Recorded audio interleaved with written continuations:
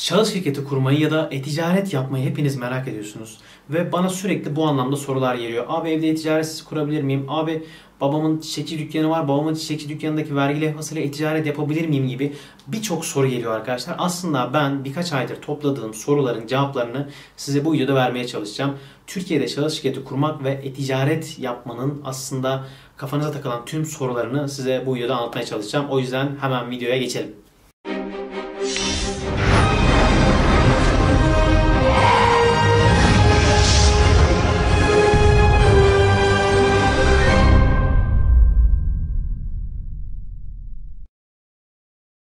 Evet arkadaşlar kanalıma hepiniz hoş geldiniz. Bu kanalda dijital pazarlamayı, ticaret projelerini, girişimcilik konularını ve tabii ki sizlere tecrübelerimi aktarmaya çalışıyorum. Bir süredir sizlerden gelen soruları biriktirmiştim aslında bu konuyla alakalı ve bugün sizlere şahıs şirketi kurmakla alakalı vergisel alanda neler yapmamız gerekiyor, nelere ihtiyacımız var, şahıs şirketiyle neler yapabiliriz, nasıl şahıs şirketi kurabiliriz, şahıs şirketiyle e-ticarette ne anlamda e, satışlar yapabiliriz ya da babamızın dükkanındaki vergi levhasıyla e-ticaret yapabilir miyiz? Bugün size bunları anlatmaya çalışacağım arkadaşlar. Şimdi öncelikle şunu söylemem lazım. Ülkemizde ana kalem olarak aslında 3 tane şirket türü var arkadaşlar. Bir tanesi şahıs şirketi, bir limite şirketi, bir anonim şirketi. Bunların farklarını zaten ben internet sistemdeki yazımda da size anlatmış oldum arkadaşlar. Oradan da bakabilirsiniz. O yüzden çok detayına girmeyeceğim bu şirketlerin. Bugünkü konumuz şahıs şirketi arkadaşlar. Şahıs şirketleri temel olarak bir şahıs bazlı e, kurulan aslında e, işletme türleri arkadaşlar. Ne yani? Şimdi ben Hacı Mehmet Kaya olarak gidip vergi vergi dairesinde kendi adıma şahıs şirketi kurabilirim ve şirketimin ünvanı Hacı Mehmet Kaya olur. TC kimlik numaramda vergi numaram olur. Basitçe anlatıyorum şu anda. E, TC kimlik numaramda vergi numaram olur. Bu şekilde ticaret yapabilirim arkadaşlar. Diğer taraftan limited ve AŞ olan şirketler, anonim şirket olan şirketlerse tüzel kişiliklerdir aslında. Bunların da yine kendilerine özel bir e, TC kimlik numarası gibi bir şahıs gibi düşünün arkadaşlar. Bunların da yine kendine özel bir vergi numarası vardır ve bu vergi numarasıyla hareket ederler. O vergi levhasıyla hareket ederler arkadaşlar. Bunların kendine ait bir kişiliği vardır aslında. Bankalar nezdinde de e, bir AŞ'nin bir limite şirketinin kendine özel bir kişiliği, kendine özel bir e, kredi limit kredi limiti vardır ya da işte onun ödeme puanı vardır vesaire gibi. Hani bizim şahısların e, nasıl bir kredi puanımız, nasıl bir ödeme puanımız olduğu gibi düşünün arkadaşlar. Bu şirketlerin de bu şekilde ödeme puanları vardır. Yani bu şirketler bir kişilik sahibidir. Şahıs şirketleri kişiliksiz mi? Hayır. Aslında böyle bir şey yok arkadaşlar. Onlar tamamen tüzel kişilik olarak e, ticari hayatlarına devam ediyorlar. Arkadaşlar şahıs şirketlerinde ortak olunur mu diye bir sorunuz vardı. Ben buna daha önce şöyle cevap vermiştim. Şahıs şirketlerinde ortak olunmaz diye cevap vermiştim. Aslında bu cevabım doğru ama şöyle bir şey oluyor arkadaşlar şahıs şirketlerinde. Adi ortaklıkla bir ortaklık kurulabiliyor ve şöyle olabiliyor arkadaşlar. Hacı Mehmet Kaya ve ortakları e, gibi bir şirket ünvanınız oluyor ve bu şekilde iş yapabiliyorsunuz arkadaşlar. Yani şahıs şirketlerinde ortaklık oluyor ama ismi Hacı Mehmet Kaya olmuyor arkadaşlar. Hacı Mehmet Kaya ve ortakları işte gibi oluyor arkadaşlar. Hacı Mehmet Kaya ve Adi Ortaklığı şirketi gibi düşünün. Bu şekilde ünvanlar olmuş oluyor. Ne bileyim yani bana böyle kulağa çok hoş gelmiyor arkadaşlar. Bilmiyorum. Bunun yerine limite şirketi kurmak bence daha mantıklı geliyor. Ee, hani bu şekilde ortaklıklar yapılabiliyor arkadaşlar. Şahıs şirketleri e, ortaklarının payının devredilmesinin zor olduğu şirketlerdir. Yani buralarda işte o hisse devri vesaire daha zordur arkadaşlar limite şirketlerine ve anonim şirketlerine göre.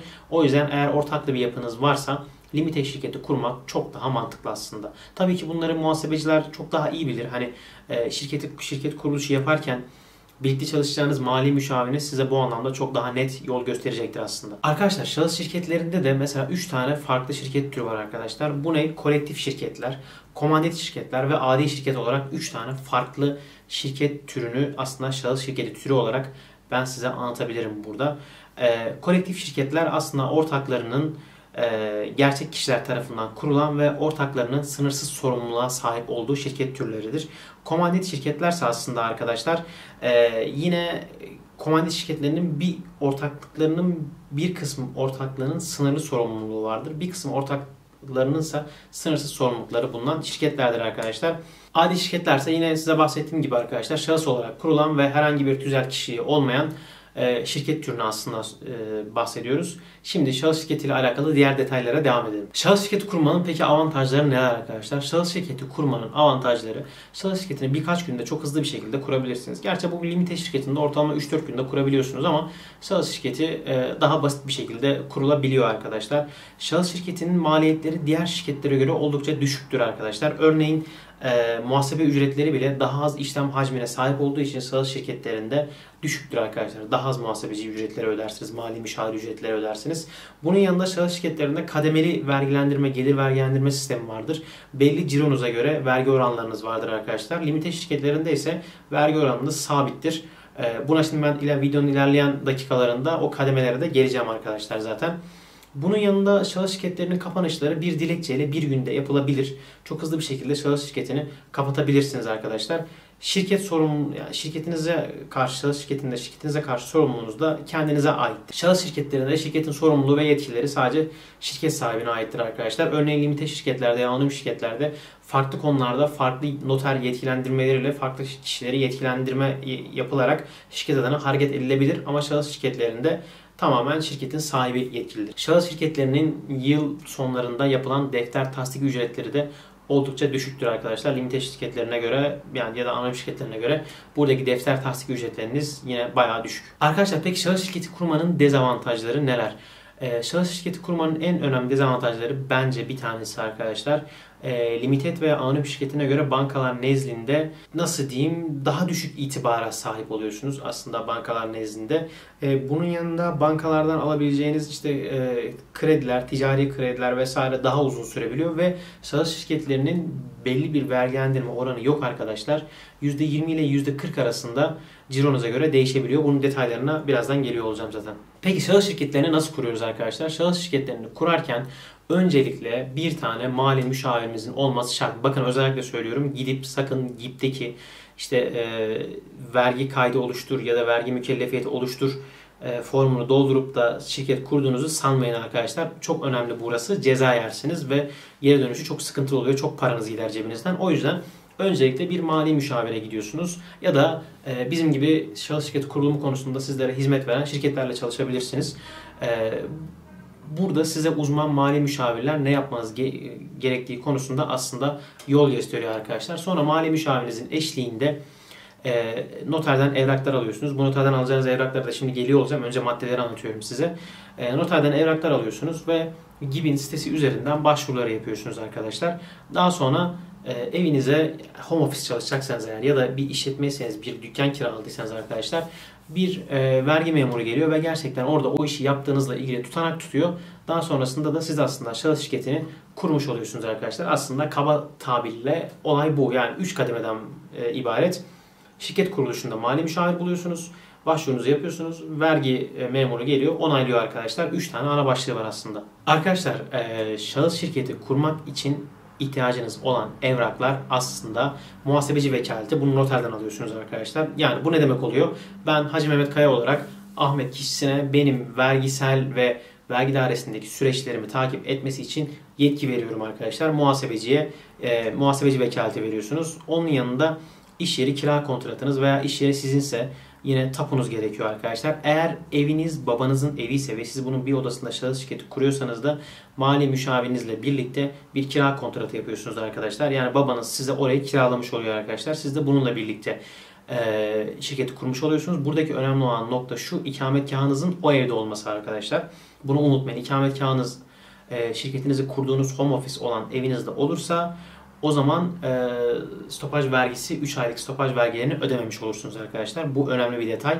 Bunu yine mali müşavirinizle konuştuğunuzda size yol gösterecektir ne yapmanız gerektiğini dahil. İkametgah belgesine ihtiyacınız var arkadaşlar. Yine şahıs şirketi kurmak için muhasebecinize vereceksiniz bunu. Bunun yanında yine imza beyannamesine ihtiyacınız var. Bunu da yine noterden alıyorsunuz. İmza beyannamesi de yani bu imza benimdir dediğiniz bir beyanname arkadaşlar. Bunu da yine noterden alıyorsunuz. Bir de nüfus cüzdanınızın fotokopisi lazım. Bunu da zaten kırtasiyeden gidip çok ucuz bir şekilde alabiliyorsunuz. Arkadaşlar şimdi gelelim muhasebeci ücretlerine. Muhasebeci ücretleri ülkemizde 150 ee, ila 300-350 lira arasında değişiyor bölgeye göre ya da muhasebecinizin uyguladığı tarife göre arkadaşlar. Ee, bu şekilde aylık bir gideriniz oluyor. Bunu aylık aylık olarak ödüyorsunuz. Hiç fatura kesmeseniz de hiç iş yapmasanız da bunu aylık olarak ödüyorsunuz arkadaşlar. Muhasebeci vekalet ücretiniz var. E, bunu bir kere mahsus ödüyorsunuz. Bunu notere ödeyeceksiniz arkadaşlar. Size biraz önce bahsettiğim o muhasebeci vekaleti için bu ücreti ödemeniz gerekiyor. 150 TL olarak. Belki şu an 200 TL'dir. Bilmiyorum arkadaşlar. İmza beyannamesi var. Bu da yine 150-200 lira civarında. Bunu yine notere ödüyorsunuz arkadaşlar. Bu şekilde imza beyannamesini noterden yapmış oluyorsunuz arkadaşlar. Damga vergileri falan çıkıyor burada yine şirket açılışınızda. Burada yine 60-70-80 lira civarında ödüyorsunuz ve bu damga vergisini her ay ödüyorsunuz arkadaşlar. Bir tane bile fatura kesmeseniz, bir tane bile fatura almasanız bile her ay damga vergisi ödemek zorundasınız. Şunu unutmayın arkadaşlar. Şahıs şirketi kuruyorsanız aylık olarak şu an 86 TL tam bilmiyorum ama 90 diyelim biz ona. Hadi 100 diyelim. 100 lira bir damga vergisi diyelim arkadaşlar. 200 250 lira diyelim muhasebeci. Ne yaptı? 350 lira. 350 lira hiçbir işlem yapmasanız fix gideriniz var arkadaşlar şu an şahıs şirketinde. Bunu asla unutmayın. Bağkur'u saymıyorum bile. Ba Bağkur'da zaten şu an 1,5 lira 1,600 mü öyle bir şey. Tabii 29 yaşınızın altındaysanız vergi dairesinden alacağınız evrakla birlikte bir yıl boyunca bu Bağkur'dan muaf olabiliyorsunuz arkadaşlar. Bu arada şöyle bir şey var. İş yerinizin kirası varsa tabii bir de kira gideriniz oluyor arkadaşlar. Ee, eğer tabi home office olarak şirket açıyorsanız böyle şeyleriniz olmuyor. Ha, evinizin eviniz kiradaysa onu da söyleyeyim arkadaşlar. Eğer bir e, evde kiracı olarak bulunuyorsanız aile evi değil yani sizin eviniz değilse de yine mali müşaviriniz size bu konuda bir kira kontratını düzenleyip ev sahibinden de imza alarak bu şekilde işlem yapabiliyorsunuz arkadaşlar. Hani ben kiracıyım acaba açamam mı vesaire gibi şeylere kapılmayın arkadaşlar. Böyle bir şey yok ama şu var. İşte benim e, iş yeri açma belgem var ama kira kontratım yok falan gibi şeyler yok arkadaşlar. İş yeri açıyorsanız eğer o mülkün sahibi değilseniz mutlaka ve mutlaka bir kira kontratınız olmak zorunda. Kira kontratı olmadan işlem yapamazsınız. Şahıs şirketi kurarken arkadaşlar kiraladığınız iş yerini adres olarak gösterebilirsiniz. Evinizi adres olarak gösterebilirsiniz. Ya da sanal ofisleri adres olarak gösterebilirsiniz arkadaşlar. Dükkanınızı adres olarak gösterebilirsiniz. Ama şahıs şirketi kurarken çalıştığınız bir işletmeyi adres olarak gösteremezsiniz. Bir işletmede çalışırken SSK'lı olarak şahıs şirketi kurabilirsiniz ama çalıştığınız işletmeyi adres olarak gösteremezsiniz arkadaşlar. Böyle şeyler sakın yapmayın. Bunu soran arkadaşlar var olmaz arkadaşlar bu şekilde. Arkadaşlar şimdi geldik şahıs şirketinin vergi dilimlerine. Arkadaşlar şöyle söylemem lazım. Şahıs şirketlerindeki gelir vergilendirme oranı %15 ile 40 arasında değişiyor. Bu da yine cirolarınıza göre fark edebiliyor arkadaşlar. İşte 24.000 TL'ye kadar farklı. İşte %15 atıyorum 130.000 TL'den sonrasına %27 ya da işte 650.000 TL'den sonrasına %35 ya da daha üstü için %40 gibi çok farklı farklı vergilendirme dilimleri var. Ben bu vergilendirme dilimlerini sistemde tablo şeklinde veriyorum arkadaşlar. Oradan siz de bakabilirsiniz. Peki e-ticaret için şahıs şirketi kurulur mu? Kurulur arkadaşlar. E-ticaret için şahıs şirketi kurabilirsiniz. E-ticaret yapmak için, pazar yerlerine satış yapmak için şahıs şirketi kurabilirsiniz. Evinizden de kurabilirsiniz, iş yerinizden de kurabilirsiniz. Bunu yapmak çok kolay arkadaşlar. Eğer sadece siz bir şeyler alıp satacaksanız burada şirketinizi kurarken arkadaşlar 47.91.14 numaralı NACE kodunu kullanmanız gerekiyor. Bu NACE kodu ne demek oluyor arkadaşlar? Bu NACE kodu radyo, televizyon ve posta yoluyla veya internet üzerinden yapılan parakende ticaret oluyor arkadaşlar. Siz bu NACE koduyla her şeyi alıp satabilirsiniz. Kendinize fatura keserek faturalı bir şekilde aldığınız her ürünün faturasını kesip satış yapabilirsiniz arkadaşlar. Burada hiçbir sınırlamanız yok. Tabii ki ürünler yasal olduğu sürece hiçbir sınırlamanız yok arkadaşlar. Ben burada kodu size tekrar etmek istiyorum. 47.91.14 arkadaşlar. Bu kod, bu NACE koduyla bir şirket kurduğunuzda e-ticaret için her türlü ticareti yapabiliyorsunuz. Bu arada arkadaşlar şahıs şirketi kurmak için e, daha doğrusu şahıs şirketi kurduktan sonra hesap açmak için arkadaşlar bankaya gitmeniz gerekiyor. Bankaya giderken de mutlaka işte bankanın size vereceği hesap açma sözleşmesi, vergi levhası, şirket kaşesi, şirket yetkilisine ait yani şahıs şirketi olduğunuz için sizin nüfus cüzdanınız ve imza beyannamesiyle banka şubesine gittiğinizde ticari hesap açabiliyorsunuz arkadaşlar. Bu hesaplar yine adınız oluyor. İsterseniz bir ünvan da belirleyebiliyorsunuz. Bazı bankalar belirletmiyor, bazı bankalar belirletiyor arkadaşlar. Onu bankada çalışırken e, siz de bankanıza sorabilirsiniz. Çok da önemli değil yani. Şahıs şirketlerini kapatmanız için arkadaşlar nasıl kapatıyoruz diye sorduğunuzda aslında şahıs şirketine GİP üzerinden vereceğiniz bir dilekçeyle beraber bir gün içinde kapatabiliyorsunuz. Vergi memuru zaten geliyor siz o adreste yoksunuz veya geldi diyelim ki işte şirketi kapattık biz bundan sonra bu işi yapmıyoruz dediğinizde tutanak tutuyor ve e, bu şekilde oluyor. Ama arkadaşlar eğer ev olarak yani home office olarak bir şirket açtıysanız ve kapatıyorsanız bu şekilde eğer bir dışarıda bir dükkan tuttunuz ve şirketi açtık hadi kapatalım deyip de kepengi indirip vergi memuru gelince biz burada yokuz gibi bir şey olmuyor arkadaşlar. Vergi memurunun oranın kapalı olduğunu görmesi gerekiyor. Oranın kapandığını görmesi gerekiyor arkadaşlar. Peki şahıs şirketi kurarken fazladan daha fazla e, nasıl anlatayım faaliyet konusu belirleyebiliyor muyuz? Tabii ki belirleyebiliyoruz arkadaşlar. Bir tane ana faaliyet konumuz oluyor. Bundan sonrası geriye kalan ise yan faaliyet konularınız oluyor. Yani diyelim ki bir tane e-ticaret faaliyet kodunu belirlediniz. Bunun yanında yazılım, bunun yanında web portal hizmetleri, bunun yanında ajans hizmetleri gibi 4 tane daha faaliyet kodu belirleyebiliyorsunuz. Bunların içinde fatura kesebiliyorsunuz. Yani ne oluyor arkadaşlar? Ee, hem e-ticarette pazar yerlerine satış yaparken, ürün alıp satarken aynı zamanda dışarıda birine ajans hizmeti vererek veya video edit yaparak ya da işte grafik tasarım yaparak fatura kesebiliyorsunuz. Bu mümkün arkadaşlar. Arkadaşlar şunu söylemem lazım. Şahıs şirketleri devir olunmaz, devir edilmez. Limite şirketleri gibi değillerdir arkadaşlar. Şahısa bağlı olduğu için siz e, şahıs şirketlerini sadece kapatabilirsiniz. Peki şahıs şirketleri için kaşe zorunluluğu var mı? Tabii ki var arkadaşlar. Yani her şirketin şahıs da olsa, tüzel kişilik de olsa, işte limited de olsa, anonim de olsa mutlaka bir kaşeye ihtiyacınız var arkadaşlar. Bunu asla unutmayın. Ve şöyle bir soru geliyor. Şahıs şirketi kurdum. E-fatura mükellefi olmalı mıyım gibi bir soru geliyor. Ön muhasebe programı kullanmalı mıyım gibi bir soru geliyor arkadaşlar. Evet e-fatura mükellefi olmalısınız arkadaşlar. Ee, ön muhasebe programı da kullanmalısınız ki zaten e-fatura kesebiliyor olun. Ya e-faturayı hani gibi üzerinden falan da kesiyorsunuz ama bir tane ön muhasebe programı kullanmanız gelirinizi giderinizi takip etmeniz için sizin için çok büyük avantaj olur arkadaşlar ve mutlaka bir ön muhasebe programı kullanmanızı da tavsiye ederim. Şahıs şirketi için bir dükkan tutmak zorunda mıyım diye bir sorunuz var arkadaşlar. Şahıs şirketleri için bir dükkan tutmak zorunda değilsiniz.